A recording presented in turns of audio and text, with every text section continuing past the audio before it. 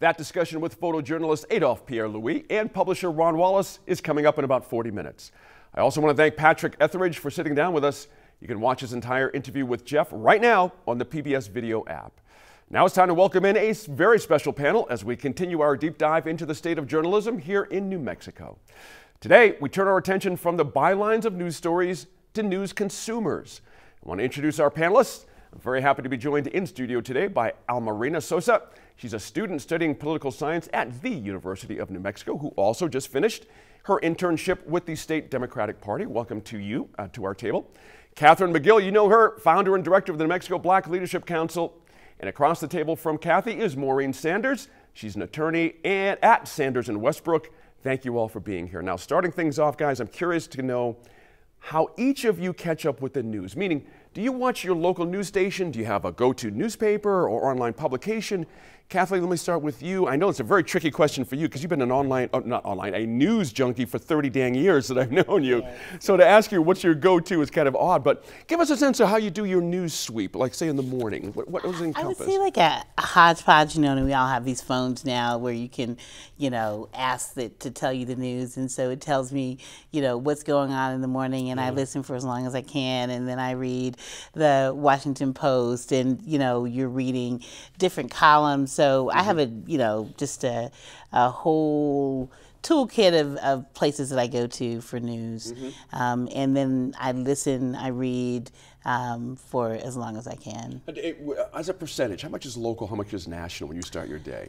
Um, I would say that it's probably 60 40. Okay local, yeah, national. Yeah, I hear you.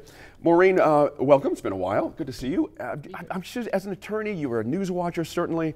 Uh, I'm curious, how, how, do you how do you how do you do the thing this way? Actually, I, I, became a news junkie yeah. um, after I became an attorney, and I was working ah. for Judge Mechem um, at the federal court oh, sure. here in Albuquerque, and I noticed that the Rio Grande Sun was showing up every week, and I said what is this? And he said, it's the only way I can find out what's going on in northern New Mexico, mm. and I need to know what's going on in northern New Mexico. Mm-hmm. And he would come in every day, and he ha- would have read you know, the Albuquerque Journal and the Rio Grande Sun and start talking about it. And I thought, right. okay, he's teaching me something here. And so for my business, it's really important, to me at least, to know what's going on. Sure. Um, because it gives context to my cases. Um, okay. I should have asked you previously, I apologize. What kind of cases do you work right. on? Just um, so historically, most of my cases have been commercial litigation okay. or insurance um, matters. And then I have a great deal of um, experience in civil rights, gotcha. um, both in federal and, and, state level. All three or four of those things, mm-hmm. you do have to watch the news closely for Absolutely. all of those. Absolutely. Almarina, welcome and uh, congratulations on what you've accomplished so far. Uh, three cheers for poli sci students, yes, and indeed. Um, I'm curious, uh, you, you know, we have a bit of a generational difference here, certainly not to put you on the spot. But I'm curious how you get your news. What's your what's your news gathering day like as well? Yeah, so I think that it's very much digitalized. Um, mm-hmm. I don't know if that's it's fair to say for the general population sure. in my in my age range, but sure. I would definitely say that um, it is a mix of local and national um, media coverage, whether that be through apps or just scrolling through social media. Right. I um, try to stay away from that just because I know of all of the the nuances that come with social media.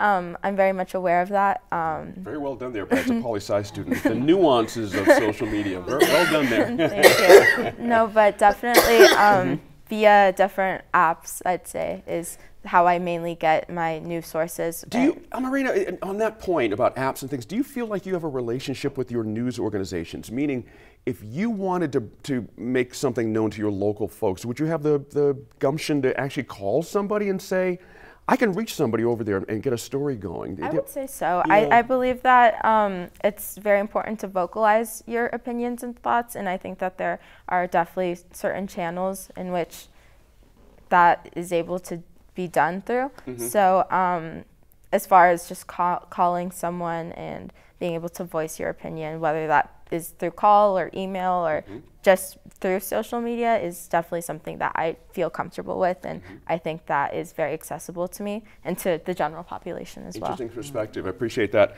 I, I do want to go around the table on this next one. Maureen, you answered this just a little bit, but I want to get under the skin here a little bit. I, I, I want to know how these news organizations affects your professional lives, uh, folks. Starting, uh, Maureen, how does journalism impact or inform, if you can, not just your, your shop, but the entire legal community? What's the relationship there and why is it important? I think it's important for the legal profession because, you know, for all of our cases, those of us who do litigation, um, there's a context for it. And so it's important, if I'm going to sue a particular county commission, it's important for me to know that this, this county commission has a long history of doing bad things, um, in my view. Um, and, or is this just a one-off? And so context is really important for the civil litigation side. Unfortunately, I think most of the media focuses on the criminal side, and that, you know, that one, it's not my interest, but it also isn't a context situation. It's, you know, it's this particular person um, did this particular crime. And so for those in the civil side of litigation, it's really important to have a context and, and know the players, you know, and you can't know the players if the media and the papers are not doing the stories. That's right. It's an important point about why a newspaper archive is so important. That's it's right. not just the daily stuff, but that archive can have so much value Right. uh, for research, as you're mentioning, Maureen. Right. And I was, you know, I was really saddened to hear that, you know, the journals no longer, archives are not, no longer available locally. And, you know, I know that they mentioned newspapers.com and I looked and it costs money to go to newspapers.com. And for me, that's a disservice because I want to be able, I remember a case once where I had this, a stack of this many articles that were relevant to the case. So during the deposition, I said, here, can you tell me which of the, which quote, if any, in this stack of you, you know, quote by you, is inaccurate, you know. And so that gave me a way to to test what the person was saying. Sure, I can see that completely. That's an excellent description. You know, Kathy, your position is unique, certainly, and I got to ask. Uh, you know, you have a working relationship with the press that you've had for years because of your position at the New Mexico Black Leadership Council.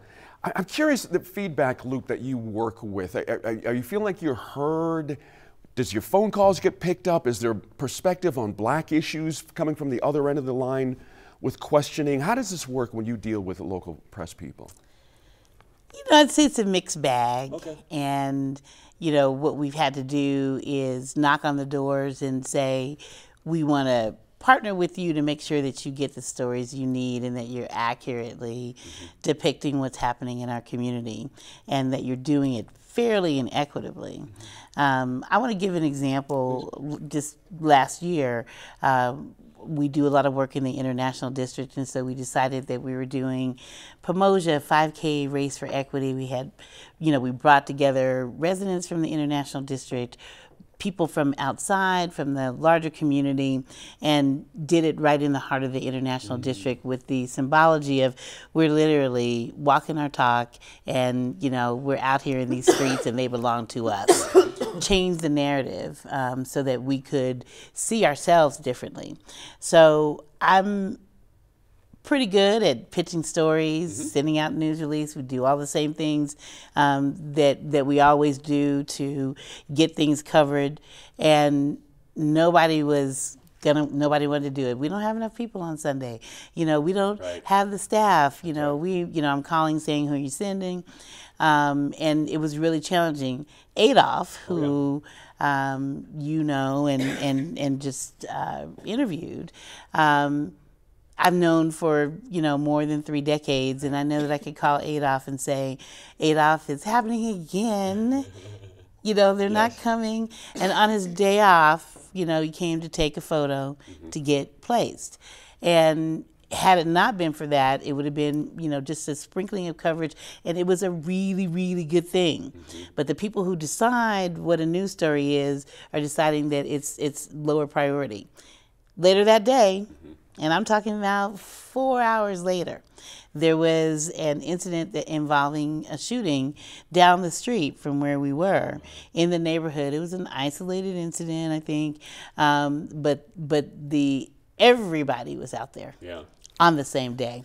And so we wrote about it in, in our own paper that we started because we couldn't get the kind of coverage we need. Right. I, I, that's an interesting story. I, Yeah. I, can I can relate to that. You know, Almarina. Interestingly, um, the data I'm seeing uh, from Pew Research Center, young people, Gen Z and younger millenni- younger millennials, not all one big bucket, certainly, consume the most online news, but they also have the lowest polled emotional trust of national news. Would you would you does that resonate with you as, as that in this age cohort as well? That you know, local stuff's one thing, national news is a whole other thing altogether. Um, personally, I don't think that I share that same sentiment, but it has been expressed to me via just uh, people in my same age range of that general distrust of the media. I think given the fact that so much of it is isn't filtered and that it isn't necessarily coming from a place of um, of reliability, if that makes sense. So um, I think that in general that that data seems to line up with my general experience as far as media goes with my age range. Let me, let me ask you a question. I you- I- I- again, I'm not asking you to speak for your generation. That's actually a very unfair thing to do, just you at this table. Yeah. So you're speaking from your heart, and that's interesting. And I'm, I'm just curious: is it important to you to know, to you to know how a news organization is funded? Because we talked about that a lot with our two-part series here over the last couple of weeks. That is an important part of this. For yourself, does that mean something to know how they're funded? Yes, it definitely does. And I think that whenever I am consuming media, I do it in a way that is from a reputable source and I do put in the effort to put forth the research as to who is funding and who is guiding whatever um, media coverage that is being put out. So um, I think that that is definitely something that, at least for me, um, resonates with me as far as um, my daily consumption of media. Even though um, I think it's important to look at it, look at media in every different facet that it comes in. Mhm. Good point there too, uh, Maureen. Uh, like I said, you've dealt with journalists for years, uh, decades, I should say. In that time, you've seen newsrooms shrink. You've seen them vanish altogether. You've seen a lot. What has that meant to, to you in the industry that has changed the relationship with reporters, possibly?